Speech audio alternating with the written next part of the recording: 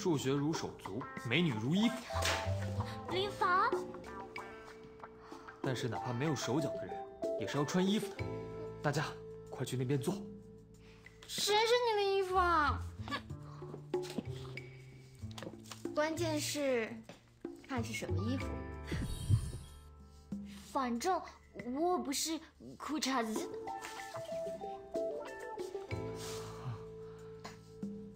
对不起啊，他们有三个。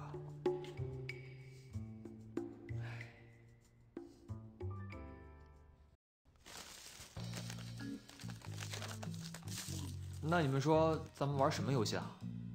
今天这么好的太阳，我们玩鬼故事接龙吧。